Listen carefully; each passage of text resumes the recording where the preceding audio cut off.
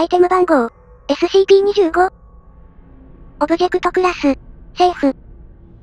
特別収容プロトコル、SCP-25 は対象が保管される部屋での実験中のみ開けられます。入室コードは認可された研究員と保安要員にのみ伝えられます。他の収容プロトコルは必要ありません。説明。SCP-25 は0.97メートル ×0.62 メートル ×1.95 メートルの木製衣装ダンスで、複数の年代の衣服で満たされています。チェストに収納された物品は SCP-025、1と総称され、1920年代から現在までのここ数十年の流行と一致しています。衣類のスタイルについては各年代で異なります。例えばポリエステルの島シャツと一組の灰色のスーツズボンは、両方今日1970年代の一般的なスタイルに一致します。SCP-25 に収納される全ての物品に見られる唯一の共通点はそれぞれ劣悪な状態にあるということです。コレクションの多くは衣が憎われており、破れや縫い目のほつれは珍しくありません。SCP-025 内のどの物品を身につけた時も、着用者は24時間以内に死亡するか怪我を被ると観察されました。これらの事例の死亡の原因は常に前述の衣類の欠損に関連していますが、原因となった出来事とは無関係であるように思われます。指先が立たれた手袋の着用は、玉ねぎを刻むような単純なキッチンでの事故によって指先の喪失という結果をもたらす可能性があります。同様に袖をなくしたポンチョを着た被験者は、野生動物による襲撃や手足の切断を要する交通事故に遭い、なぜか剥き出しの腕を失うでしょう。チェスト由来物品の着用と同時に備品が一切ない密室に置いたとしても、着用者は見た限り自然発生した、衣服に覆われていない部位から生じる壊死性筋膜炎に罹患するか、物品の欠損位置下にある臓器の機能不全に陥るでしょう。そのような事案から生じる病気には伝染性があるかもしれないし、ないかもしれません。禁種に観察される自然消滅の速さのため、研究はうまくいきませんでした。可能であれば、兵器化の可能性を探るため病気のサンプルを研究室へ移送することが推奨されます。以下は SCP-025 のテストログ要約です。より徹底的なテストには文書の完全な機密解除が伴います。対象 P。778。4。12歳の白人男性。物品。1940年代の白タキシード。欠損箇所。左肩の避けた縫い目。結果。エージェントの監督の下、被験者はホールを自由に歩き回ることが許可されました。約45分間、重大な出来事は何も起こりませんでした。しかしながら、において、警備記録や目撃者は D778 がエージェントへの攻撃を試みたらしいことを指摘しています。エージェントは入れ替わるようにナイフで被験者を制圧し、D778 左肩のちょうどタキシードの縫い目が裂けた箇所に1インチの深い傷を負わせました。テストは中止、被験者は後ほど終了されました。対象、P。690。2。6歳の白人男性。物品、ボストンレッドソックスの2004万、2004年版野球帽。欠損箇所。木。ヤップの後ろのサイズアジャスターが喪失。正面のロゴが部分的に欠けている。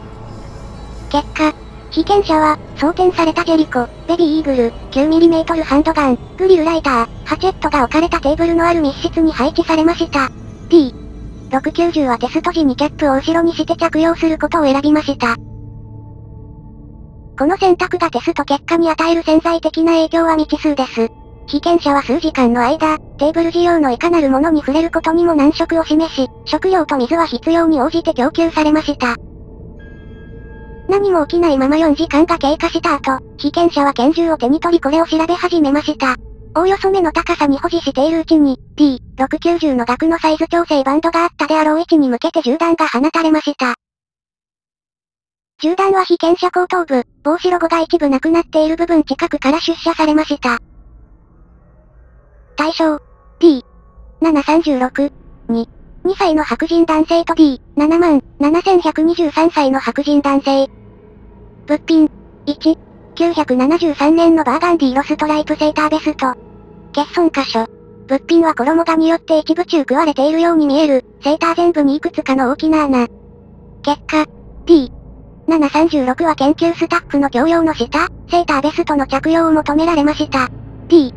771は他のテスト参加者から見えないところで装填されたハンドガンを渡され、合図を送られたら6発の銃弾すべてを D736 の方向へ撃つように指示されました。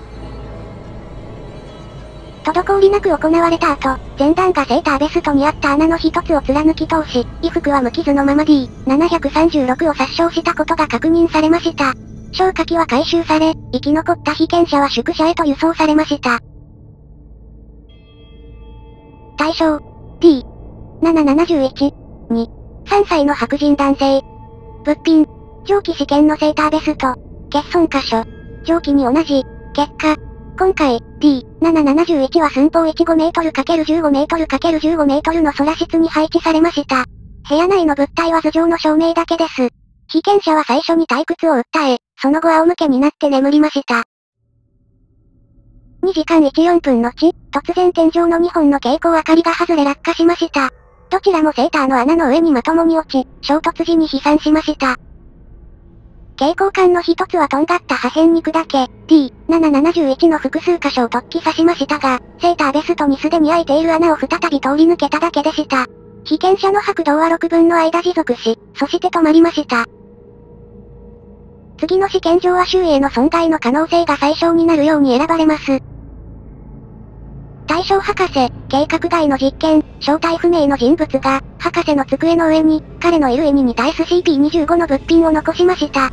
この事件や犯人に関するどんな情報も、直ちに上級職員に報告しなければなりません。物品。軽量スカーフ、いくつかの色で染色。欠損箇所。強く引き締められた縫い目によって、スカーフは中央部分で大幅に短く、よりきつくなっている。結果、彼、のスケジュールによると、博士は SCP-025 のアイテムを身につけ、のルーチンテストのため SCP の収容施設へ向かう途中でした。しかし彼は意図していた経路から外れ、施設の完全に独立した旨に向かう方向に歩み始めました。それから被験者は、同行者を連れず安全手順なしで SCP-173 の部屋に入り、ドアの閉ざされる音を聞くとすぐに瞬きをしました。